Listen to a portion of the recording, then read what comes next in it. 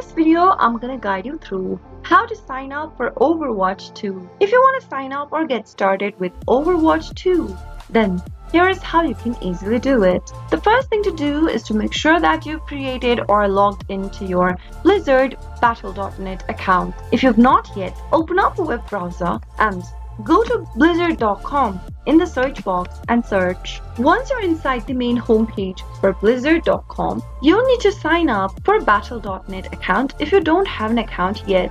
Go and mouse over the account button at the top right and click on sign up. In the sign up page, select your country from the drop down and enter your date of birth.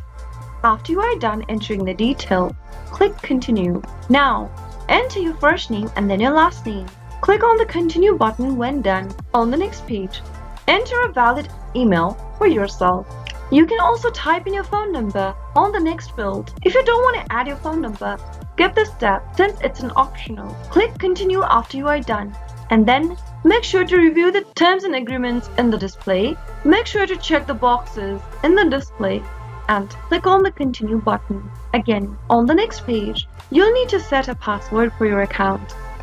Enter a password in the text box and click on continue. Create your battle tag. On the text box, you can enter your own battle tag or if you want to randomize and select a random one, click on randomize. After you are done selecting a tag, click continue. Wait for a few seconds and you'll be able to create a battle.net account. Now, in order to get started with Overwatch 2, You'll need to download Battle.net application on your device. Simply click the download button and then install Battle.net on your device first. Now, after installation, click open the Battle.net application to launch it open.